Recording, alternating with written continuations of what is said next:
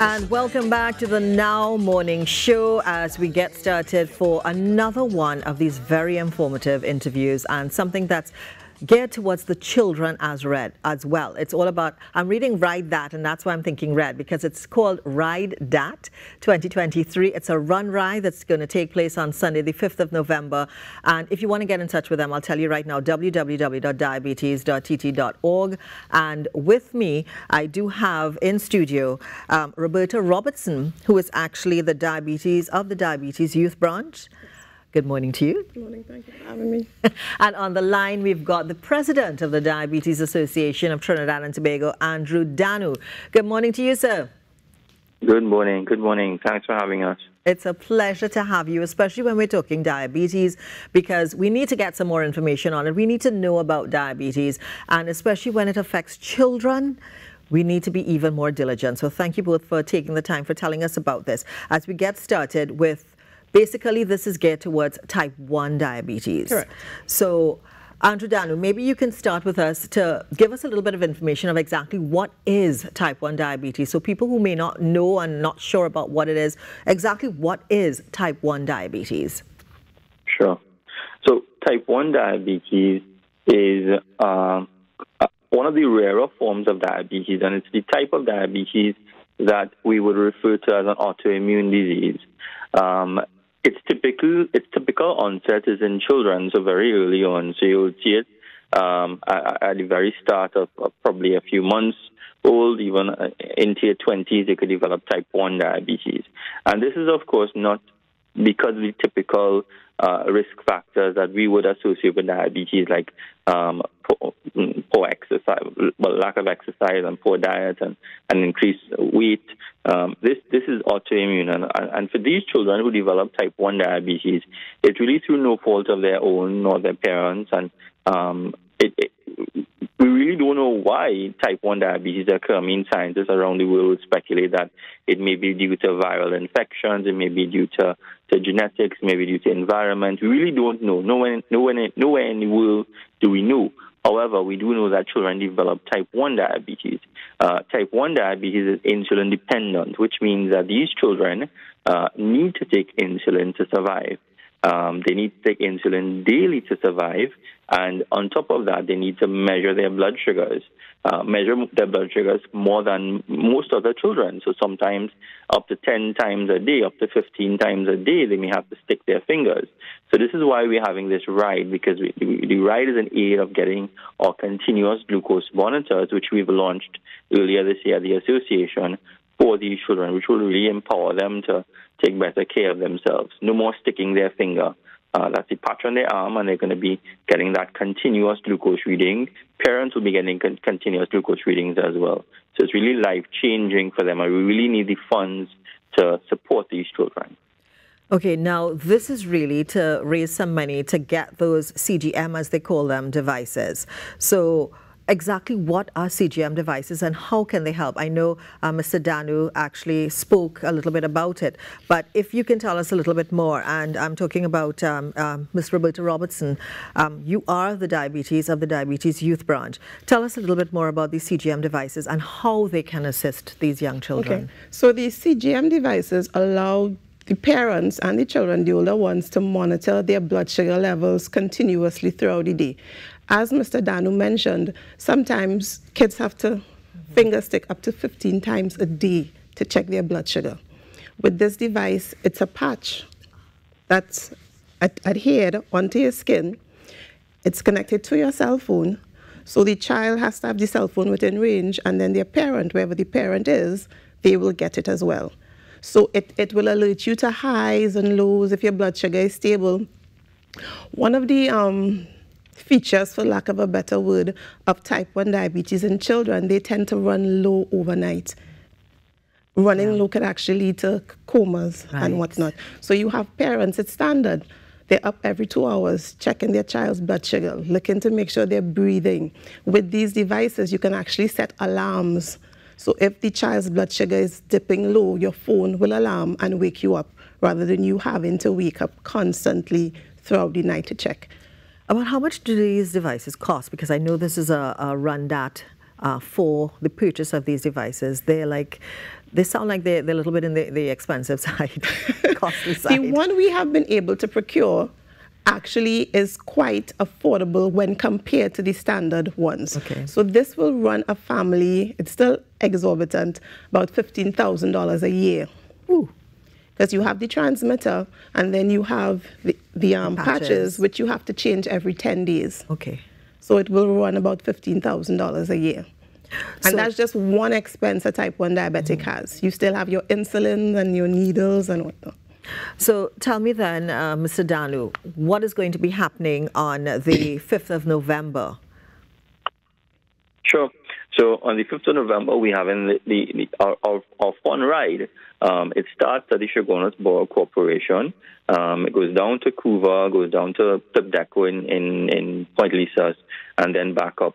Um, the ride is a 50 kilometer ride, and of course, um, the ride is designed for both uh, novices and advanced riders. Uh, last year, we would have started the ride, and we had it on the same day as our 5K. That's Run Datt. So we actually split it this year to give more focus to to the children um, with the cause and, and really raising the funds for the CGMs. So we have the ride on the 5th of November, which is that Sunday, that first Sunday of November. November being Diabetes Awareness Month, and that's why we, we, we have all of these activities in November. So all registrants um, are going to be getting this really nice commemorative medal. Uh, a lot of activities there at the Chaguanas Borough Corporation. You get testing, refreshments at the stops. Um, to to register, you when well adults pay one fifty, um, children pay one hundred, and if you're a DAC member, it's one forty and ninety dollars. Um, registration can be done at the Diabetes Association head office. Registration can be done at Granny Gay, at Central Spokes. Um, even online, you could visit um, bit.ly slash ridat2023 or ridat23 rather. And you can get more information on the Diabetes Association social media pages on our Facebook, on our Instagram. Just search for the Diabetes Association. You get lots of information about both Ride Datt and Run Datt. We want persons here to really register for both. Even if you don't have a bike, you could, you could rent one. Even if you don't have, um, you know, if you're not a professional rider, you could come and participate still and support because, of course, all funds raised for this Ride Datt activity is going to go towards the purchase of CGM. Um, is there an age limit? What's the age limit for riders? Because if it's geared towards children, I would want to think that children may want to be involved as well. Yes, Yeah, definitely. children can be involved. And when you say ride that, because of the whole terminology, because it's so you know local as well. You know, I'm not just thinking bicycles. I'm I don't know for what. I'm just thinking because the children involved. You know, even maybe a tricycle or you know anything that they could probably ride. So you ride that. In They the- can, and children don't actually have to go on the route if they're not comfortable. They can ride along the inside of the borough corporation, just as a whole part of the fun day itself. Yeah. And that is just actually the acronym for Diabetes Association. Association of Trinidad and Tobago. Yes, it is. Yeah. But I like how you, you usually play on it. Yeah, Ride, Ride that, That. and ride that. So it's both Ride Diabetes Association of Trinidad and Tobago and Ride that as well. now, how much money are you expecting to raise from this venture? Well, our, our overall target is to raise about $2.5 million.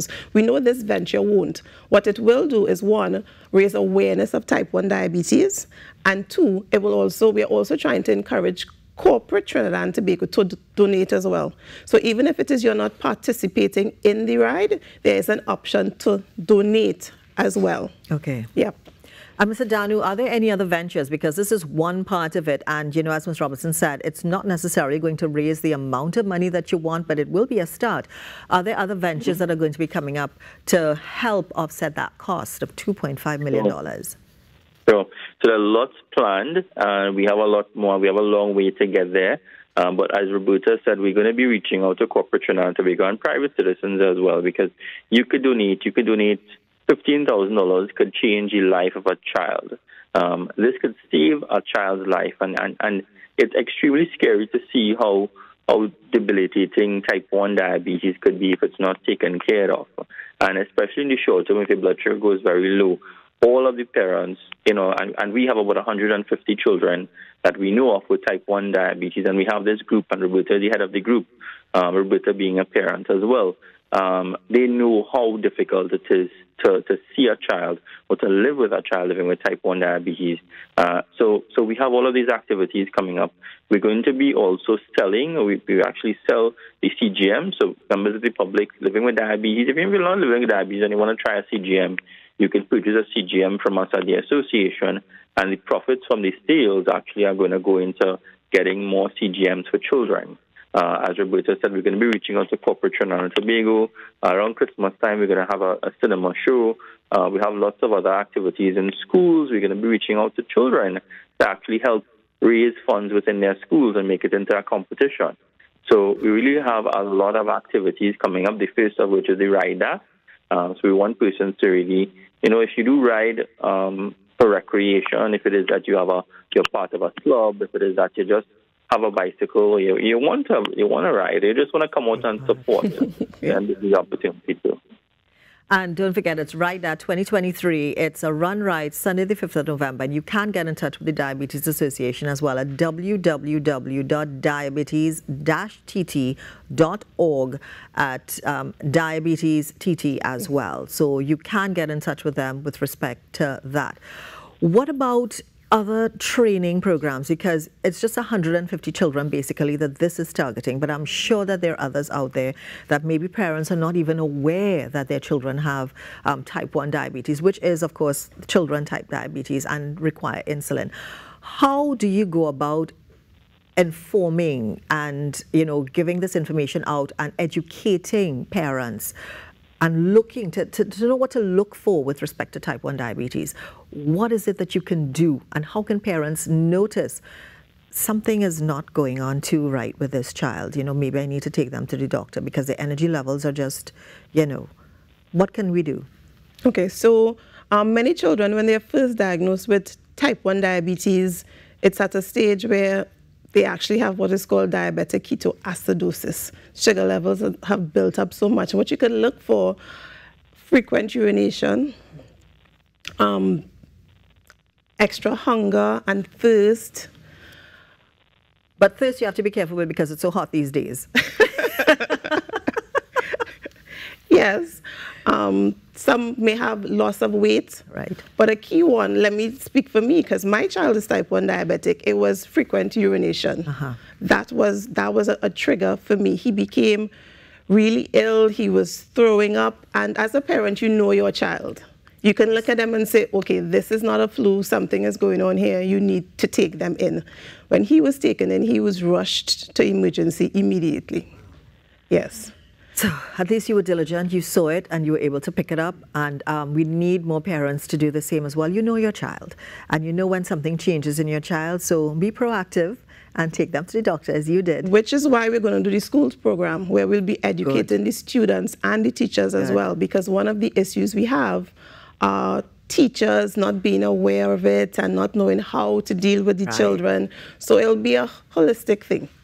Brilliant. Thank you so very much. And I want to thank you for coming to tell us all about it. That's uh, Roberta Robertson. She is the Diabetes Youth Branch yeah, chair, chair of the Diabetes, of the Diabetes Youth Support Youth Branch. Youth Support Branch, and as well Andrew Dhanoo, the president of the Diabetes Association of Trinidad and Tobago, telling us all about Ride Datt 2023. It's a run ride. It's happening Sunday, the 5th, 5th of, of November, November, which is World Diabetes Month as well.